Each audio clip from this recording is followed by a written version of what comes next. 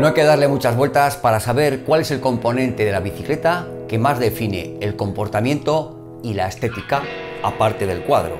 Y eso son las ruedas. Y en Gurpil lo saben. Y nos traen sus primeras ruedas de carretera, las GTR Carbono RR de Gurpil. Vamos con ellas.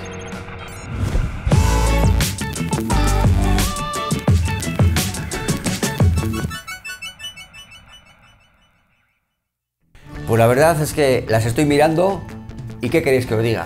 Son preciosas. Pueden quedar en mi bicicleta a las mil maravillas. Pero bueno, vamos a hablar de las características y qué nos ofrecen. No cabe duda que la estética es algo importantísimo en nuestras bicicletas y unas ruedas con un poquito de perfil le dan ese chic y ese plus para tener una bicicleta diferente. Perfiles entre 38 milímetros hasta 50 milímetros podemos decir que son perfiles polivalentes, tanto para subir como para cualquier situación. Y aquí tenemos un perfil de 50 milímetros.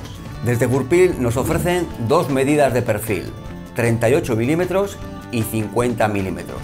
Y algo importante, vamos a poder combinarlo, es decir, podemos poner 50 milímetros de perfil en la rueda trasera y 38 en la rueda delantera. Y una manía que tengo es mostraros las ruedas desde el buje hacia el exterior, pasando por los radios y acabando con el aro. Los bujes están construidos en un soberbio aluminio mecanizado CNC. Lleva rodamientos sellados y está preparada para alojar ejes pasantes de 12 por 142 en la rueda trasera y de 12 por 100 en la rueda delantera. Unos bujes que van a alojar unos frenos de disco bien con el center look como vienen aquí y tienes la opción de 6 tornillos. Muy importante, 24 radios tanto para la rueda trasera como para la rueda delantera, de tiro recto y con el sello de DT con sus afamados Pro Look. Y que acaban en unas extraordinarias cabecillas Sapin DT Pro Look. Y han optado por una construcción en carbono, en carbono unidireccional, que le va a dar muchísima mayor rigidez lateral. Y aquí lo vamos a enlazar con el comportamiento. Una rigidez lateral le da un comportamiento mucho más firme y más efectivo a la rueda. ¿Todo esto por qué? Porque una rueda que flexa no es efectiva. Y en Gurpil han sido minuciosos hasta el límite. Digo hasta el límite porque es una rueda tremendamente rígida, lo que nos va a proporcionar un comportamiento y un rendimiento óptimo. Es que lateralmente es que ni se mueven, es como, como intentar doblar una barra de hierro, súper rígidas. Y siguiendo las últimas tendencias, nos traen las ruedas tubelizadas de serie. Yo soy un firme defensor del tubeless, no solo en la mountain bike, sino también en carretera. Ya llevo tres años utilizándolo y de verdad, cero, cero problemas. Cuando se hace correctamente y la rueda está bien construida, y esta lo está, os vais a quitar cualquier problema de pinchazos y vais a tener un rodar muchísimo más fino que es lo más parecido al tubular. Y una garantía de que están bien construidas para el tubeless son sus medidas. 26 milímetros externo, que lo vais a ver. Y la importante, la interna, 19 milímetros garantizándonos que talonen y asienten perfectamente los neumáticos. Y para ser perfectas, ¿qué me voy a sacar de la manga? El peso. Extraordinario.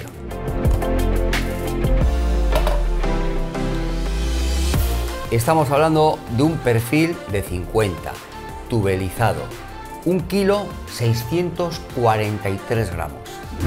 Y ahora vamos a montarlas en el taller.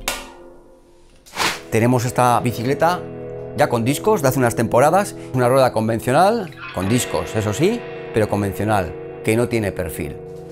Y vamos a utilizar las ruedas GTR Carbono RR de Gurpil para mejorar su rendimiento y, cómo no, su estética. ¿Qué es lo que vamos a necesitar? Vamos a necesitar, obviamente, la rueda, el neumático preparado para túbeles, unos desmontables, líquido antipinchazos, colocar el disco, que este es de 6 tornillos, pero le vamos a poner el adaptador a Center Look y la llave para apretarlo. Voy a empezar colocando el disco. Colocamos el adaptador para el Center Look, colocamos el disco, tapa de cierre.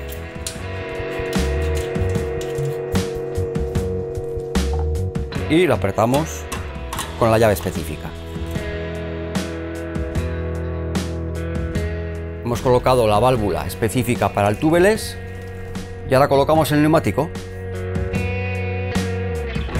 Me gusta hacer coincidir las letras con la válvula por si pinchas algún día o tienes que inflar rápidamente la rueda, ves dónde están las letras, ahí está la válvula. Hay quien le echa líquido antipinchazos por la válvula, pero a mí me gusta echarlo cuando lo estoy montando.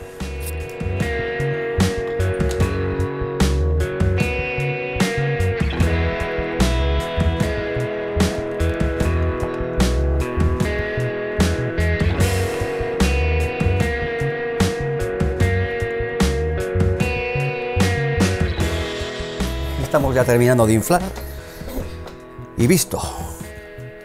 Ahora las presiones con estas anchuras de neumáticos pues son bastante menores, 5 o 6 bares como mucho. Y ya solo nos queda colocarla.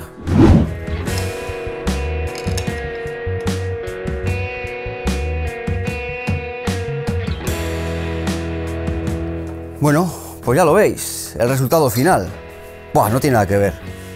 Fijaros el antes y el después. Nada que ver. Ha cambiado la bicicleta estéticamente por completo.